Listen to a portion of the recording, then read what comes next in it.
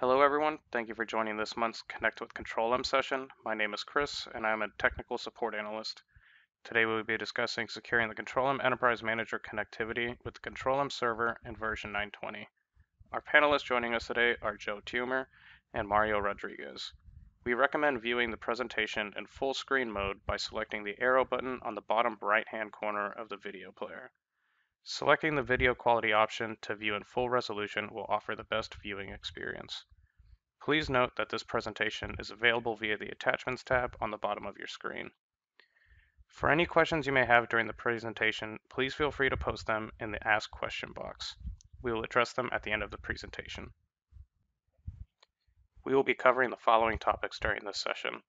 First, an overview to configure SSL between the Control-M Enterprise Manager and Control-M Server. Next, the requirements and considerations to consider before starting. After we will have a demo outlining the process steps. We will then recap and provide our resource links for this process. And lastly, we will have a question and answer session with our panelists. Here is an overview of the process. We will configure SSL between the Control-M Enterprise Manager and Control-M Server. The connections that will be secured will be the CMS to the Control-M Server CA and the gateway connection to the Control-M Server CE. Out of the three possible Control-M zone configurations, this is SSL Zone 2. Here is a diagram showing this. The Control-M Enterprise Manager CMS is connected via SSL to the Control-M Server CA. Also, you can see the Control-M Enterprise Manager Gateway connected via SSL to the Control-M Server CE. Next, we will go over the requirements. PKCS number 12 is the only key store format supported on Control-M version 920. PKCS number 12, also known as PKCS 12 or PFX, is a binary format for storing a certificate chain and private key in a single encryptable file. The key store and private key password must match. This password should be 8 characters or less. The certificate must have server and client purposes as well. Here is a diagram showing the process for enabling SSL in Zone 2. If you are unable to obtain a P12 key store from InfoSec, you will need to perform the steps on the left of the diagram. This starts with generating a CSR or certificate signing request, get a signed certificate with a certification chain, create the P12 key store, then deploy the P12 key store with the CTM key tool utility, test the connection, then change the Control-M configuration to use SSL. If you are able to get a P12 key store from InfoSec, then you only need to perform the steps on the right of this diagram. That is to deploy the P12 key store, test the connection, then change the Control-M configuration to use SSL. In the demo, we will be performing the following. First, we will generate the CSR, known as the Certificate Signing Request. Then we will create a P12 key store using the certificate, private key, and CA certificate. Next, we will deploy the certificate using the CTM key tool utility. Next, we will troubleshoot and test the connection before making the changes for the Control-M configuration on the Enterprise Manager and server. Lastly, we will configure the Enterprise Manager and server to use SSL. First, we will log in to the Enterprise Manager and then open up the CCM. We'll be looking to confirm that SSL is not currently configured between the Enterprise Manager and server. We will open the Control-M Configuration Manager via the Tools Home in the Enterprise Manager. Once in the CCM, you can see the gateways are connected, but not via SSL. Now we will log in to our Control-M Enterprise Manager and switch to our Control-M Enterprise Manager account. After changing to the user's home directory, we will specify the full path to the CTM key tool utility in order to generate a certificate request. You'll use the dash create underscore CSR space dash password and your private key password with this command. Now you can see a certificate signing request file and a private key file were successfully created in the EM data SSL certificate requests and the EM data SSL private keys directories. I will now show you the files that were created in these directories.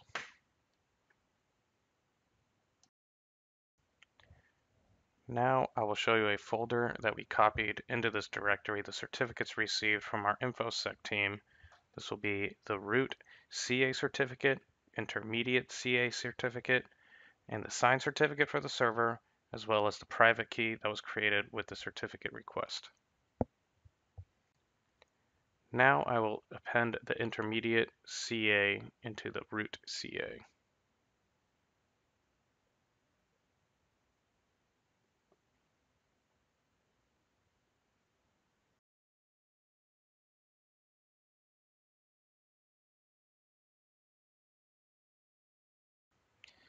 With the intermediate CA certificate appended to the root CA certificate, we will now generate the P12 file using the command openSSL.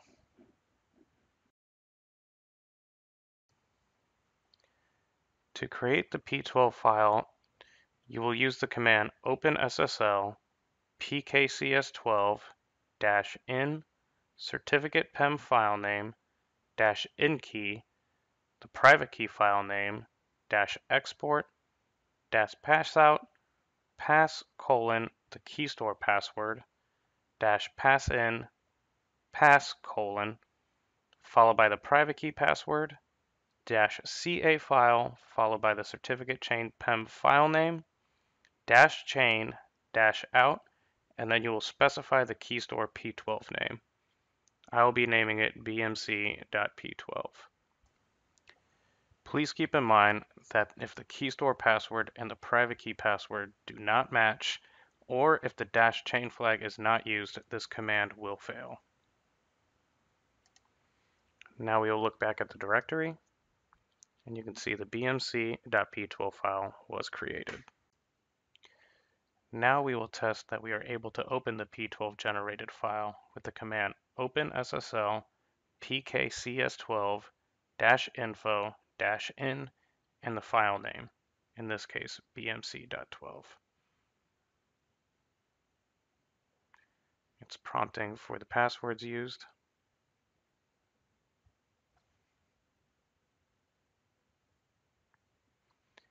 And now you can see three certificates and the private key.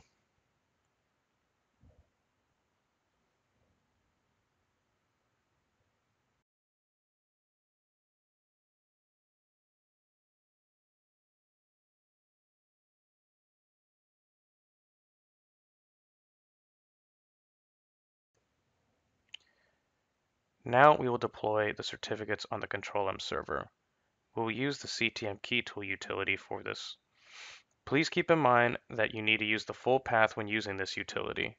You'll use the option dash keystore, followed by the p12 keystore file with its full path, then dash password, then the keystore password, followed by dash pass w key, the file that uses dash pass w key parameter is an encryption key, which is used to encrypt the key store password in the environment's SSL configuration. Both binary and textual files can be used for this purpose. It is possible to use the tree.bin file. The tree.bin file on the Control-M server is located in the Control-M server home directory slash data slash SSL slash cert.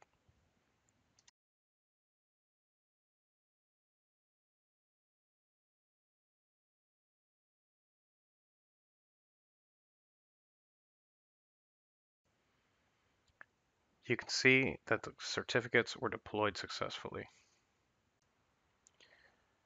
Since the Control-M Enterprise Manager and Control-M Server are both running on the same machine, you can use the same P12 file for both components. Deploy the certificates from the Control-M Enterprise Manager using the same CTM key tool, however, you will use the path for the Enterprise Manager. This is located in the Enterprise Manager home forward slash bin CTM key tool.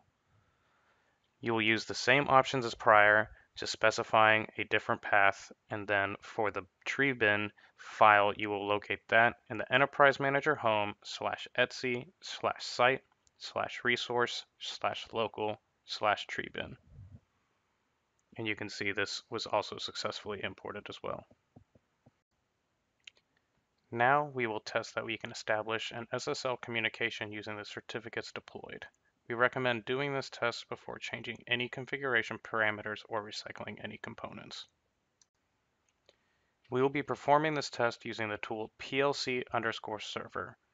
It is used with the option dash H followed by the host name, dash P followed by the ports.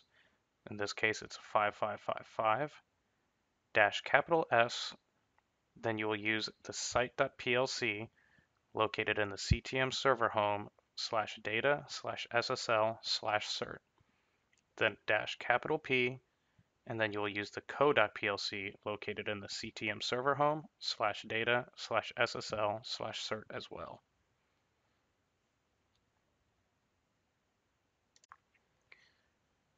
Now we'll leave this alone and then we'll open a separate session and log into the EM and change to the EM account user now we will use the tool plc underscore client to test the connection on this end.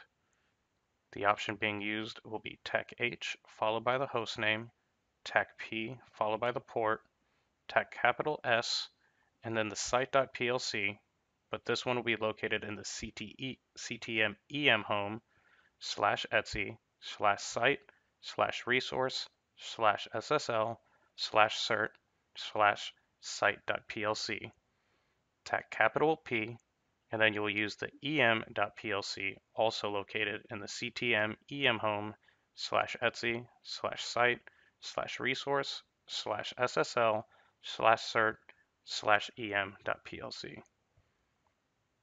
And now you can see that the connection is established using the certificates that we deployed. Now we will be updating a system parameter in the EM called CMS COM mode. We will be changing it from TCP to SSL. Afterwards, we will recycle the CMS and the gateway.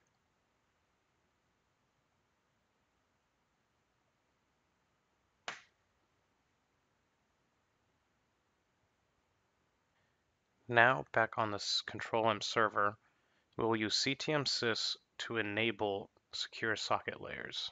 You'll use system parameters, go to the next page, and it'll be option 9. So we'll change it, it'll go to disabled. We'll do it again, it'll go to enabled, and then we'll enter S and hit enter to save and return to the main menu. Now we'll use CTM menu to recycle the control M server. Choose option 1 and then we'll issue a stop all with option six.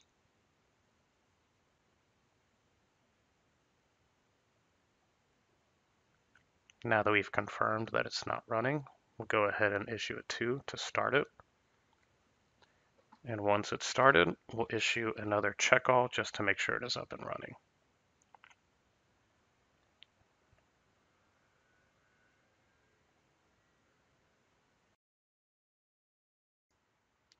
And now you can see that the gateway is connected via SSL. Now we will deploy the certificates on the Control-M Windows server. We will repeat the first step on the Linux server to generate the CSR. Again, just like on the Linux server, you'll need to specify the entire path to the CTM key tool utility you'll use the same create underscore CSR option, as well as the dash password and specify the password you wish to use. So you can see CSR and the private key file were both successfully created, the CSR being in the EM home slash default slash data slash SSL certificate request, and then the private key being in the EM home default data SSL private key folder. Now we will go to the directory where we have copied our already authorized certificates. So just like on the Linux server, we need to append the intermediate CA into the root CA.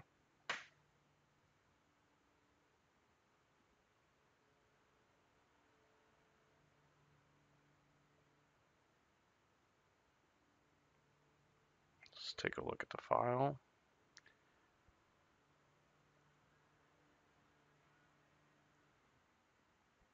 So you can see that they've been appended. Now we will generate the P12 key store using the same OpenSSL PKCS 12 command.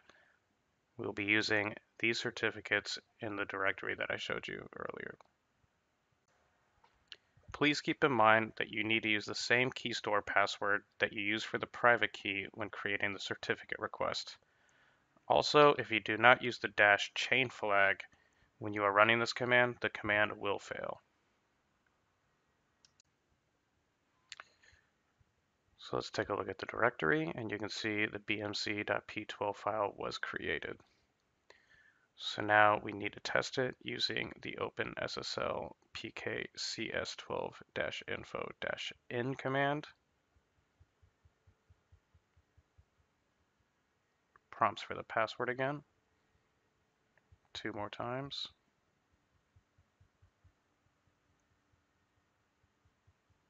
And let's take a look and confirm that all three certificates and the private key are there.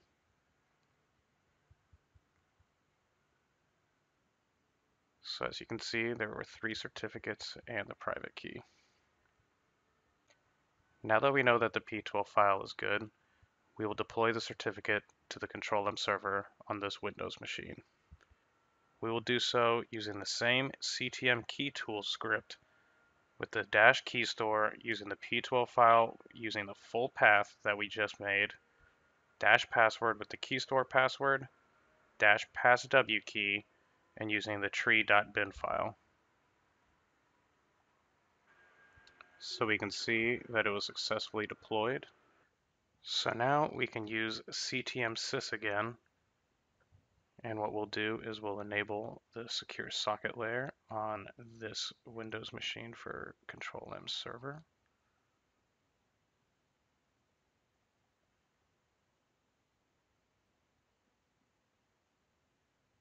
Do it one more time and it'll be set to enabled. Click S, enter to save. And now we can recycle the Control-M server with CTM menu again.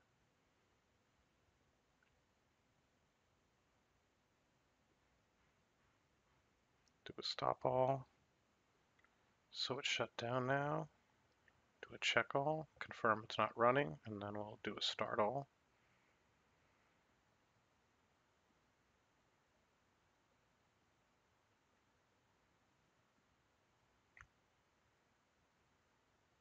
Do one last check all.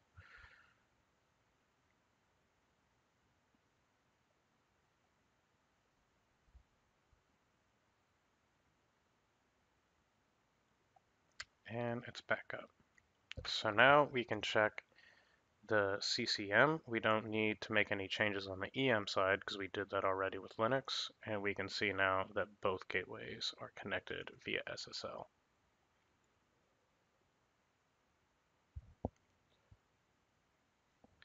So this concludes our demo and we will move on.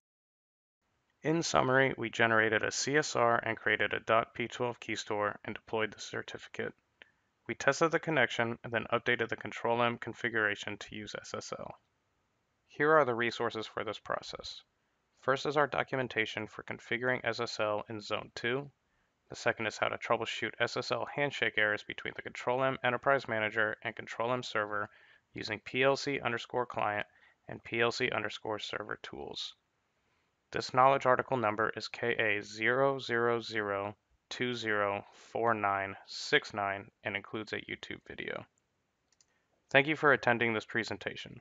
We hope the information provided proves useful in helping you set up SSL in your Control-M environment. We would like to encourage you to provide your feedback on the webinar in the feedback tab. Please let us know what you thought about this presentation, any topics you would like covered in the future, or any comments or suggestions you may have. Also, we will be sending you a survey in the following days. We would appreciate it if you took a few minutes of your time to fill your responses and send these in. You may follow us on social media platforms via Facebook and Twitter. Past BMC webinars can be viewed on BMC communities via YouTube and iTunes. Today's webinar will be posted in a few days. We will now proceed with the question and answer session.